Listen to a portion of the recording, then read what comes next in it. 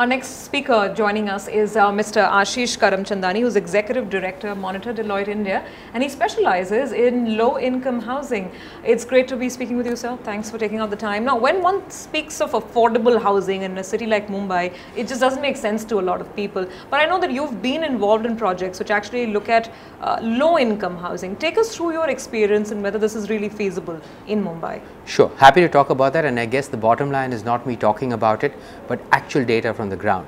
So the last study we did which was looking at housing coming online in the city of Mumbai and its environs between June of 2011 and January 2013, we actually came across 29 projects with housing being sold at less than 10 lakhs.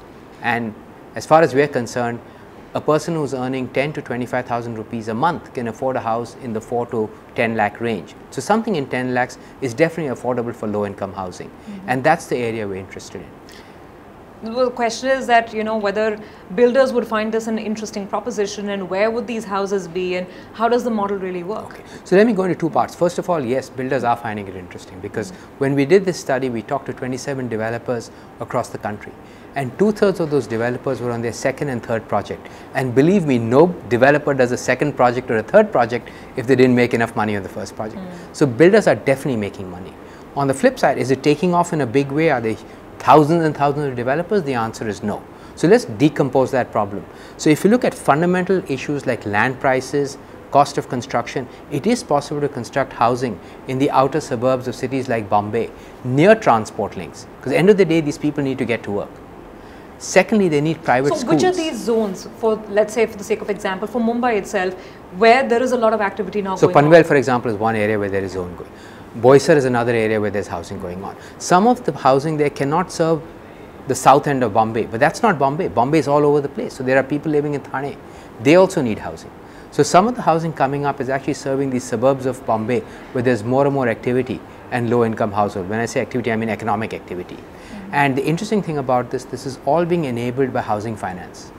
So end of the day, as I said, land is available, although not in large volumes and I'll come back to that problem, but the cost of land is not too high, construction costs are reasonable. At that you can actually sell housing at 1800 to 2000 rupees a square foot, 2200 rupees a square foot and then with a small 300 square foot house you can actually get something sub 10 lakhs.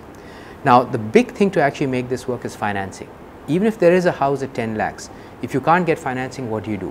What's interesting is over the last 6 years as we've been working in this field, we've actually been able to get a bunch of housing finance companies started that really finance informal sector customers and today there are 10 of them. In fact, they've given out a thousand crores in loans and their defaults are literally zero. Mm. So from the customer side, there's no issue, housing finance is flowing. But the challenge is to really get this to scale up, one needs more and more land. And the other big problem is the approval times. This business of low income housing is a manufacturing volume business. You need lots and lots of it to actually make your money. You don't make your money on each house. Mm. Now to get that going, if you start on a project, if you take a very long time to get that project up and going, in the meantime your land price is skyrocketed. So you can no longer afford to do low income projects if approval times are long. So the big issue here is, and the big opportunity also here is for government to get more actively involved. And the good thing is it's happening both at the central level and at the state level. Sure. So the central government has laid out a set of guidelines on how to facilitate low income housing, including basically how to speed up the approval process. And at the state level, places like Rajasthan, Odisha are actually showing examples of where they're giving free FSI as incentive to developers to construct more low income housing. And then you have Ahmedabad which has done something interesting. It's actually zoned areas around the ring road which is basically where there's good transport links only for low income housing. Mm -hmm. Now these things have yet to be played out. A lot of them are early days, mm -hmm. but we see good signs where A fundamentally the economics work, so the housing is possible. B housing finance is flowing and now government is coming in. And of course, the core of all this is the customer. People are desperate to buy their own housing. That's exactly what I was coming to. That is this purely an end user market, or uh, does one fear that perhaps there'll be an element of speculation and some kind of commercial aspirations which will come into this? Uh, well, the interesting thing is, yeah, well.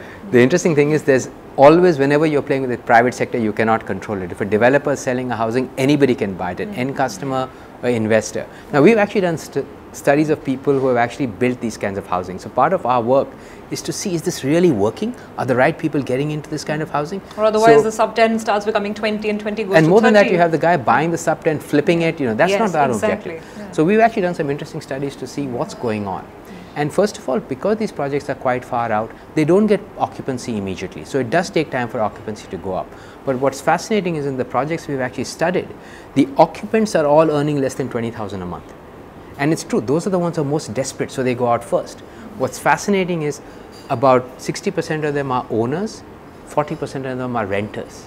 So it's actually creating rental stock. So if you think of an end goal, even though a slightly higher income person may have bought it, he's renting it out to the right income group. So we're actually quite optimistic about the impact that this is creating. So you would expect perhaps stable pricing in this market to sustain for, for some time? No, with anything like this where there's a huge demand and there's not enough supply, prices are going to go up. So I think what we need is to enable more supply to actually keep prices stable, and that's where government comes in. Okay. So different things to facilitate more land, also improve the affordability for customers. Right now, the housing finance companies are borrowing money from the market at pretty high interest rates. If government could get them lower cost funds, the rates at which they lend out the money would be lower. Mm-hmm. Also, government in other ways can actually play a facilitative role like I told you, you know, actually improving approval times. That's one of the biggest drivers of cost in this business. Sure.